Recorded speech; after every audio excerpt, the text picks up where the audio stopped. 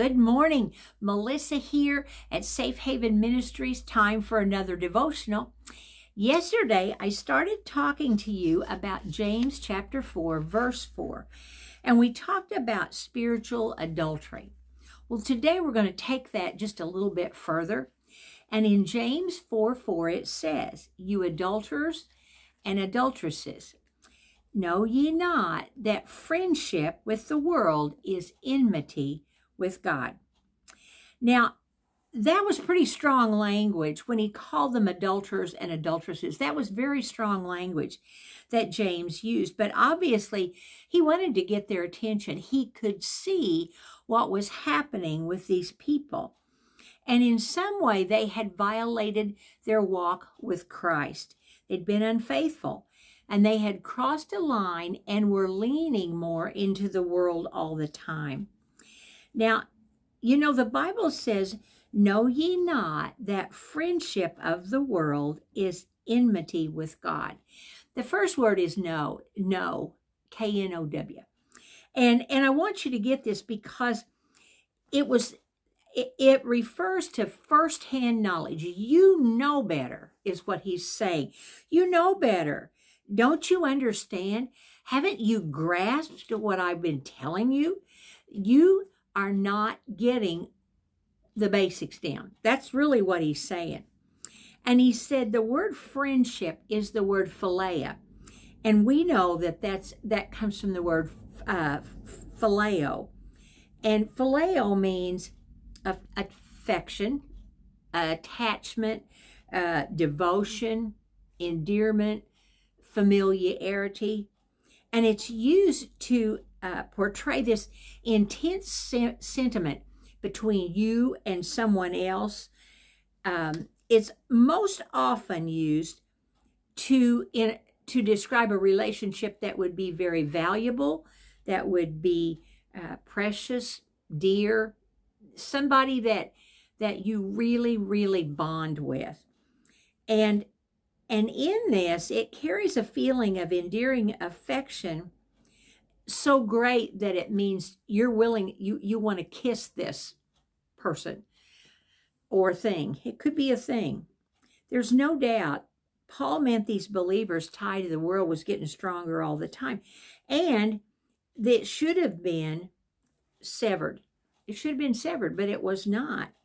And to such an extent that they'd allowed a little bit. You know, if you let a little bit in, what is it? If you give them an inch, they'll take a mile. Well, this is what was happening in the church. Worldliness is a serious thing with the Lord. And, and it will always try to wrap its arms around us and edge us closer and closer to the world and the way we believe.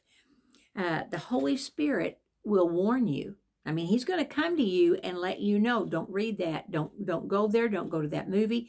Watch what you're saying. He will warn you that those things don't please Jesus. If you want to have a quick wake-up call, I'm going to give you one. Just take a little time, a few minutes, to think about what you tolerate now that you never would have tolerated 10 years ago or 15 years ago or 20 years ago. You know, I hear people talk about uh, movies and, and how horrific some of them are anymore. I mean, they're just blatantly sexual or violent to the point of, of really being um, over the top.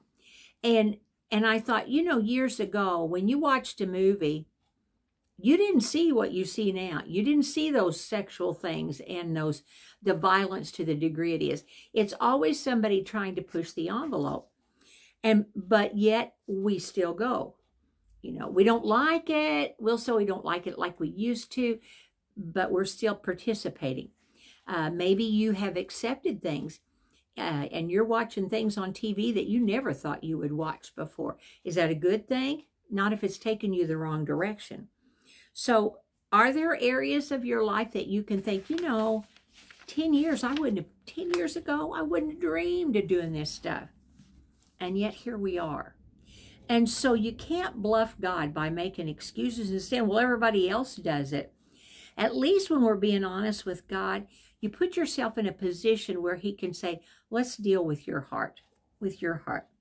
And once we're truthful with him, then it's easy to repent and say, let's get me back on fire again. We could all admit, all of us, that we've allowed some worldliness to come into our lives. But if we don't deal with it, the Holy Spirit over time knows that we will be conformed to the world, not to Jesus. And it doesn't happen overnight. It really doesn't. It, it takes time. It's a slow, seductive, and methodical process of our thinking. As our thinking and our behavior and our outlook just begins to grow to look more and more like the world. That makes me sad, but we're all guilty of it. The Bible says that a Christian who's entangled with the world is at enmity with God. What does that mean? The word enmity means hostility or enmity. Hostility. You are hostile against the things of God. We, we've allowed the world to encroach on our relationship with Him. That's serious to God. It almost makes us, sets us up to be an enemy of God. Are you on fire for Jesus the way you used to be? Have things changed? Is your is your fire kind of burning down and now it's just smoldering? It's just not doing much at all? Are you free from the things of the world or is it seducing you closer and closer to it? Would Jesus say you're completely committed to him? Or would he say you're sharing your heart with the world? Who or what is the focus of your life? I think that's what it comes down to. What do you think? Maybe we need to take a good hard look at ourselves. Let's start with prayer. Father, you know that we've all slipped farther and farther towards the world, and we repent of that, Lord. And we ask that you reveal it to us this week, Lord. Help us to see very clearly where we've crossed some lines and really taken on the values of the world more than your values. Lord, forgive us for that. In Jesus' name, amen. Amen, guys. I will see you tomorrow. We're just flying through this year, aren't we? We're like on 3 something, 3 something. so the world is going fast. We'll talk to you tomorrow. Bye.